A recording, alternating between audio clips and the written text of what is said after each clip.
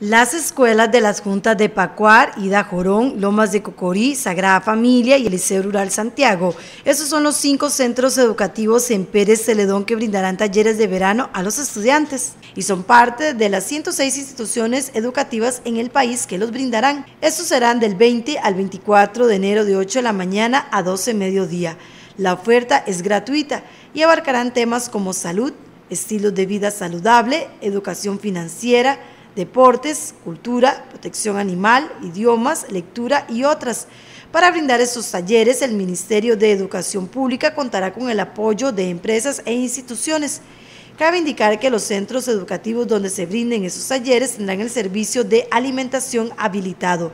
En cuanto a la inscripción para los talleres, se hizo el año anterior, pero los estudiantes interesados pueden acercarse a la institución para ver si hay cupos.